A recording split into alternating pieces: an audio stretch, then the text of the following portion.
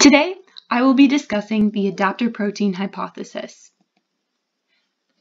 The idea of an adaptor protein was presented by Francis Crick.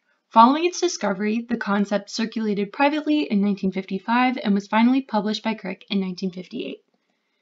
In his publication, Dr. Crick had postulated that rather than nucleic acids, which is the makeup of DNA and RNA, distinguishing between different amino acids, which often only differ by one methyl group, they were able to be recognized by a larger unit, which he called an adapter protein.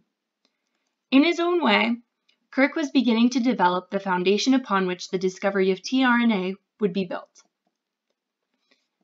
In order for DNA to be made into a protein, it must first be transcribed into mRNA. Transcription essentially allows the genetic information to be in the correct language for ribosomes to read. Ribosomal subunits assemble to read the mRNA. They attract the appropriate tRNA and remove the attached amino acid to be joined to the previously removed amino acid in the sequence determined by the three particular letter frame of the mRNA. Amino acids are the building blocks of proteins that are carried to the ribosome by the tRNA. They make up polypeptides which grow to become proteins. There are mistakes that can be made in this process, though. If there happens to be an alteration in the genetic code, such as an impro improper crossing over or damage to the DNA by an outside factor, the resulting mRNA will change. Thus, it may code for the wrong amino acid. This can be prevented by WOBBLE.